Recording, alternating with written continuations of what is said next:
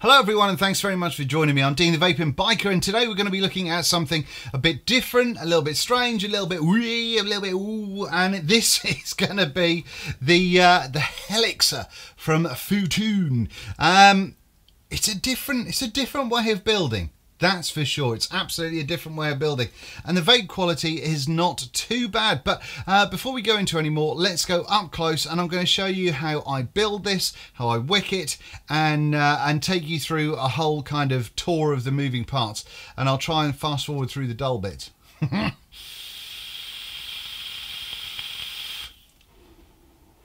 not bad though. Killed it. So here we are with the Hellixer, um, little tank going on there from Footoon. You can see that there. Um, and uh, yeah, what does it say here? Inferno. There we go. That's a fun font. And uh, let's have a little look there. Can you read that? You can pause there and look at the stats if you want to see the sizes of all of that good shit as well. And it does have the advanced guillotine deck, which we'll look at in a little while. On the back there, nothing really to get excited about. And uh, on the side there as well, just telling you pretty much what's in the pack itself. On the bottom, you've got a scratch and sniff with a very cool little hologram kind of affair in there, which is all well and good. Now then, taking that out of there, unnecessarily large packaging but uh, there we go here is the tank which we'll look at in a second and also in here you do get um, a few spares which we will talk about briefly.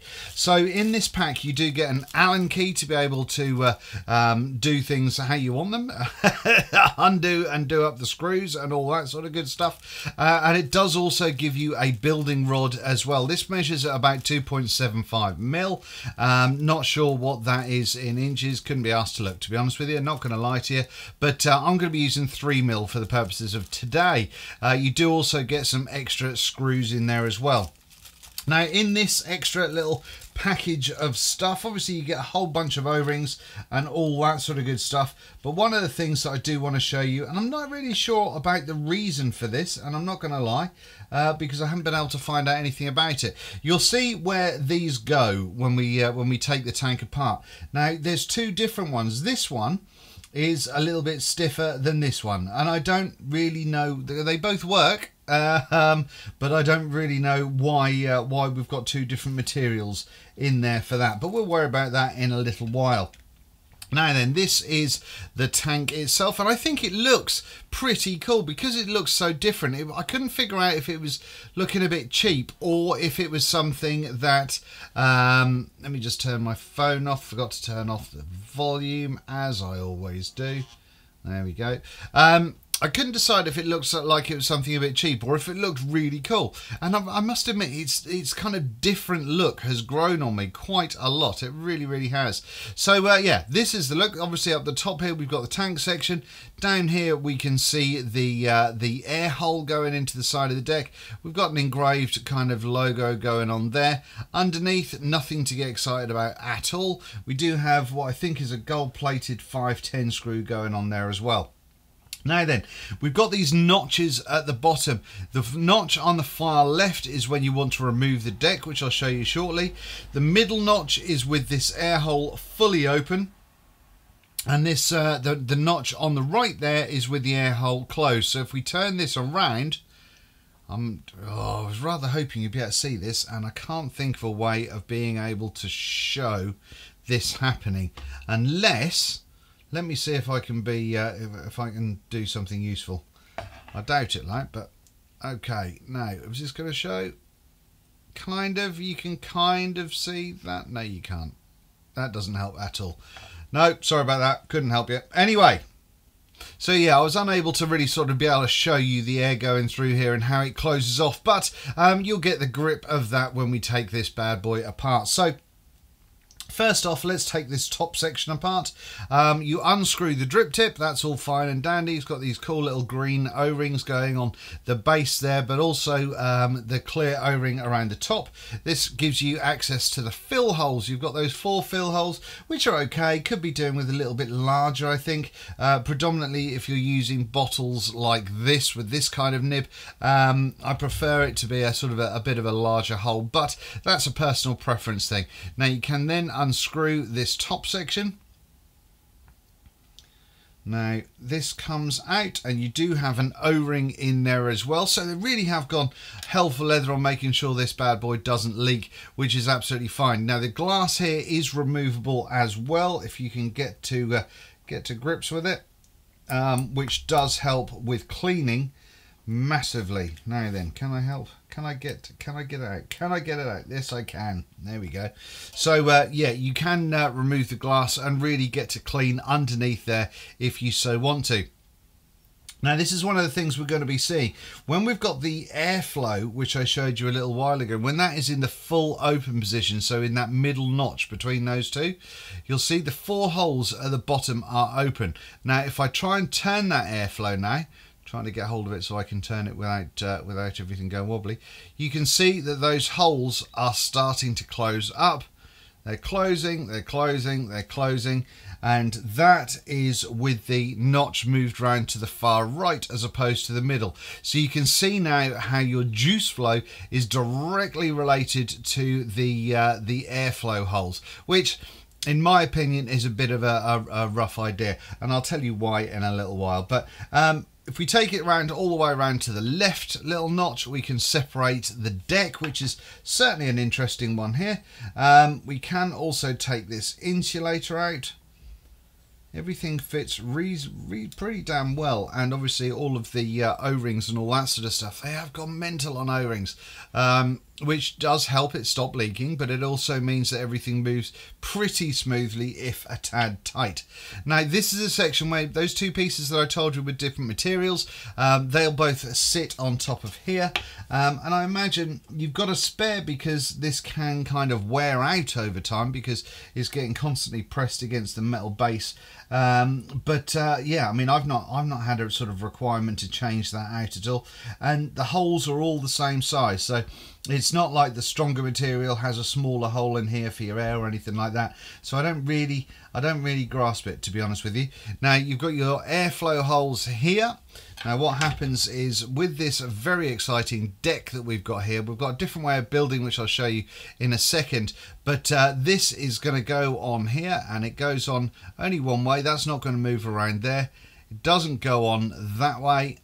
So you have to have that air hole directly in front of the coil or where you're going to be placing the coil. That's just how it is. Um, and then that sort of sticks in there quite nicely. And so that means that when you do put it back into the uh, into the jobby wobby up there that sort of clicks in place and then you can move everything around as you see fit now then Let's get a coil in here, shall we? Because it is going to be a, a slightly different build. Now you can see that you have got four holes in a velocity style, but they're not very big. These holes could be doing with uh, being a tad on the larger side. Now what they've done here, which I think is interesting, is the width on these posts is pretty big, but they actually kind of machine this central one in. Um, so that is somewhat thinner. I don't know if that is what's governed the uh, the size of the hole there, but uh, but there you go. Um, I'm not entirely sure what the requirement was of bringing that in, to be honest with you. But there we go, that happens. Um, uh, what we've got here is we do have this uh, the insulator for the positive pin and that's about it there's nothing really else I can show you there um, you've got 1.3 or 1.2 mil holes on your grub screws which make it nice and easy to undo and like I say, those post holes, they're certainly not the biggest. Now, I have been rocking Claptons in this mainly. However, uh, for today's build, I'm going to just put in a simple round wire build because that's what a lot of people are still rocking. So that's what we're going to go for. So what I'll do is I will do a kind of a sped up build section so you can see how I build it, what I build it with, and, uh, and uh, away we go. Right, let's get into it, shall we?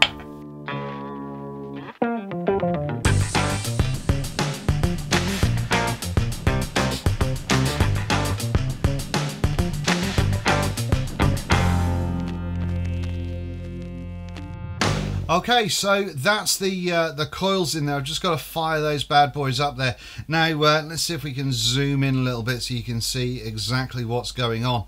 Um, they are a little bit of a sod to get in because, especially with those top holes, you can't really get your clippers in there to really kind of um, clip those off. So um, you give them a little bit of a wobble, and as long as you've got things tightened up nicely, then they'll usually break off. But uh, yeah, that's a bit annoying, and that's because you've got this top section here, which is where the wick is going to go shortly, which is uh, yeah, which is a little bit strange. Anyway, let's get this bad boy ready for wicking.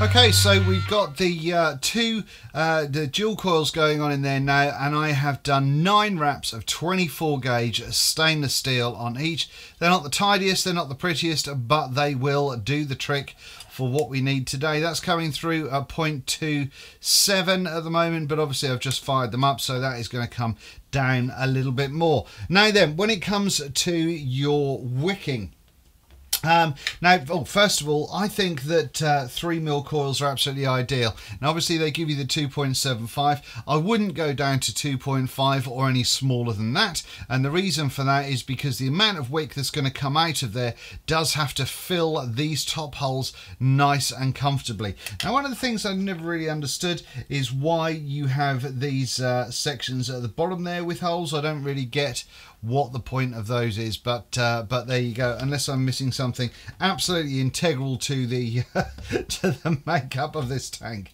Anyway let's get on with uh, getting some wick in and I'll show you uh, how I go about installing that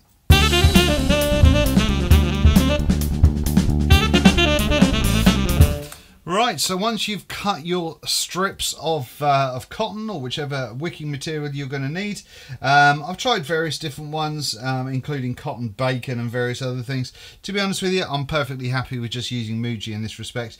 Now, what I'm going to do now is I'm going to give that a twist as we do normally. However, I'm also going to give the other end a little bit of a twist as well and that's going to help us once we've installed these bad boy coils. So you've got to have some kind of uh, um, confidence that uh, you've cut the right amount of wick off, but you can do the, the second twist later if you so wish. So here we go. This is the install of this particular wick on here. Now we're going to pull that through. I've got stuff everywhere here. Stuff everywhere. Okay, so there we go. We've got a little bit of resistance going on there, but nothing massive and the same on this one. Pull that through. Like so. Now we still want these uh, these pointy ends going on on the ends of your wicks. And the reason for that is you can get the pointy end and you can get that in the hole and pull it up. Now once you've done this, one of the things you do want to do is make sure that these sections are not pulled super tight because um, the wick the, the, the, the wick does obviously have to suck down the juice still. So we want to sort of remain keeping that fluffy wherever we can. Now then, when you do go to cut the top, I wouldn't try and get too flush, but just sort of flush-ish so there is a tiny amount poking through the top there. I did have a bit of an issue when I cut them too flush before and um, when doing that the, uh, the, the, the issue happened where um, as soon as I put the top on it kind of pushed one of the wicks out and that meant that as soon as I put juice in the tank itself they uh, it fell through which which was uh, no good to anyone. So yeah, so make sure that you've got a little bit of fluffiness in there, but everyone's a winner. Now then, juice wise, what am I going to use? What am I going to use? Let's use uh, one of these bottles that I told you about earlier on. This is the peeled and sliced from O'Malley's Diner. Sort of an apple kind of a vibe going on here. Popping a little bit of juice on top of all of the wicks itself. Right, and once that's done, you've got a couple of options on how you install this. You can either take this section out and pop it on top of what you've got already. That does mean that you can uh, make sure that uh, everything is sit seating correctly. And also, once you push that top section down, it doesn't uh, move any of your coils or any of your, more importantly, your wicking out of the way. So um, until you get used to it, that's something that I'd suggest doing. I'd also suggest just putting, excuse me, just popping a little dab of juice around that top o-ring section so that moves nice and freely when we get it onto the tank. And then we can pop the tank on here. I'm going to match up the, the, the first of the three joeys with that one. Like so. We're going to unscrew that from the uh, coil tester. That doesn't need to be there anymore going to move that to the open position so the air is open. And you can see on the top there that we do have you see that one there? That's all a little bit deformed. So we've got to take that out again move that out get this section out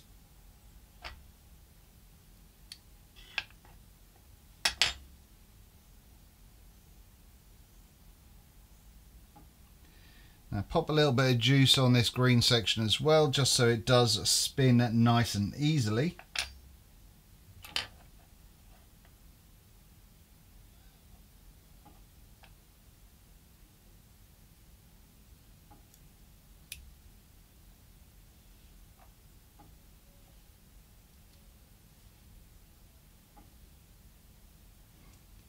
and there we go that's much better so you can see a little bit of the green in there but uh, you can also see that we've got full access to all of the wicks no problems whatsoever. So pop the glass back on the top there. Give it a little push in so that clicks into place.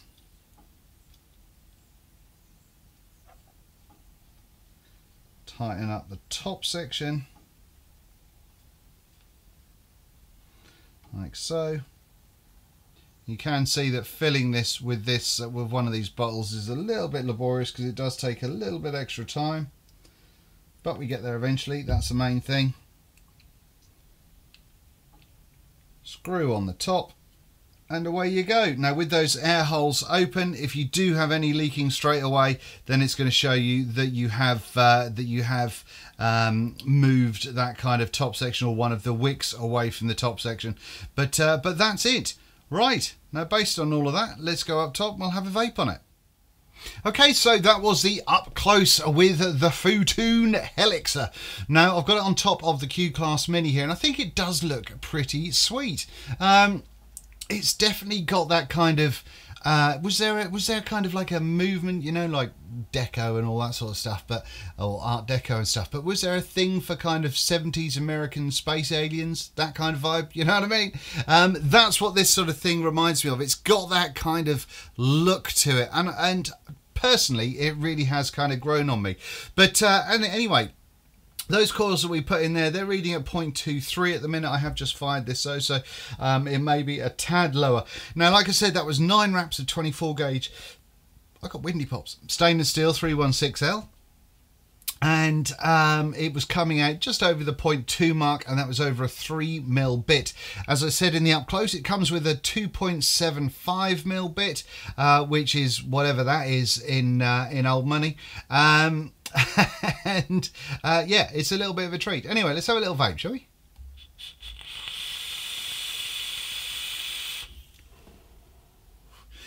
Cloud-wise, it definitely produces. Let's see if we can give you another one. And this is at 55 watts.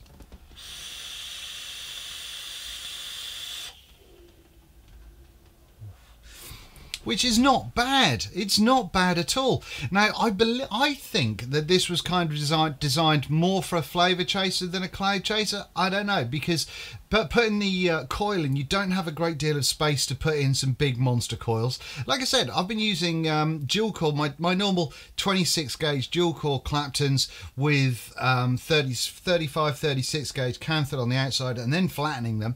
And they've been going in here, no problems at all. But I don't think you'd get much larger than that in here, to be honest with you. Um, Now the uh, the vape quality from it, the airflow is obviously hitting the coils directly and then going up that central chimney, which is lovely. Um, and so the flavour is certainly not too bad at all. The biggest issue with this, and I fed this back to uh, to the, the, the the company the moment they sent it to me, it's going direct from the manufacturer. Um, it's the fact that if you close the air down, it's going to close your juice flow as well. And, you know, obviously some people are going to want a reasonably tight air. Now, if I take that down to, it, it's not really mouth to lung territory.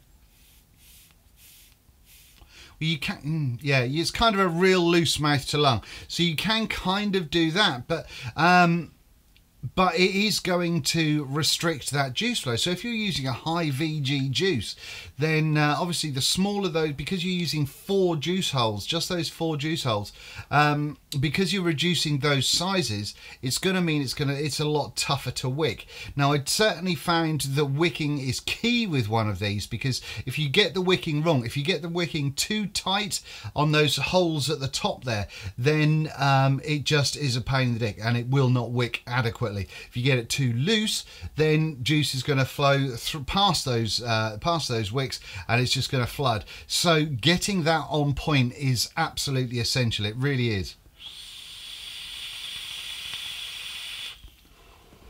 I don't think this tank is very forgiving for someone who uh, who who kind of just bungs a wick in and forgets about it. You know, you do have to be aware of it. Um, like I said, the flavour is not bad. The flavour is not bad at all. Um, I think because uh, of the length of the chimney after the coils, I think that's possibly where you may lose a little bit of it. But uh, but yeah. Um, but it's it's it's enjoyable. It's something different. It's enjoyable. Um, if you build it correctly, it'll perform. If you don't build it correctly, it won't perform. And it's as simple as that. That's one of those. Uh, it's one of those things. I say I think it's a pretty unforgiving tank. The biggest sort of thumbs down moment um, for me, or the biggest negative on this, is that juice flow, airflow control thing. Um, it would be lovely if they had a little kind of a widget on the side that you could sort out your juice flow with, rather than uh, rather than anything else. Um, and it would also look kind of cool. I mean, if you could imagine having, uh, just got to lift my arm up, um, where those rings are, um, if you had a sort of one of those rings was a juice flow control, I think that would work really, really well. Or if they changed the shape of the uh, of the holes at the top, I think that would be beneficial as well. But uh, like I say, I did feedback to them, and they said that they're going to be looking into it. Whether that happens or not, I don't know. Now then, price wise, I don't know if anyone in the UK has them. Oh, yes, they do. Um, there is a company called naturevape.co.uk. I've not used them, so I don't know what they're like. But um, they are selling these at twenty nine ninety nine, and you, they're also selling a five mil glass extension tube uh, for four ninety nine. How does that work? How does that work? Uh, it won't let me find out. It won't let me find out. Um, well, that's weird. If it if you've got a what? Because you'd need a whole cage thing and all sorts of things. I don't know. I don't know. I haven't got one. Don't know. Anyway, um, as it stands, it is what it is. It's a bit funky, it's a bit different, it's a bit fiddly. Once you get it right, you can get a pretty decent vape from it. Under 30 quid, it's not a bad little tank at all. Um, now then, the uh, it does hold, how much does it hold? 3 mil, 3 mil without that extension. Um, I think. Does it hold 3 mil? Oh, God. Should have looked at this beforehand. Should have looked at this beforehand. Didn't look at it at all. Didn't look at it. Didn't think about it. Fucking bellend. well, I would say that it holds around about the 3 mil mark. Um, I can't see it holding much more than that, to be honest with you. So that's... Uh, there you go. Rope. do you come here for professionalism? Do you? Sucks to be you.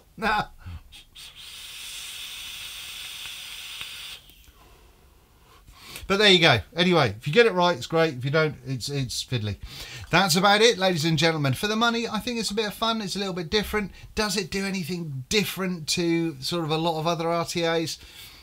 No, not really. It, it, in as much as does it perform differently to, to some other RT, RDTAs or you know RTAs?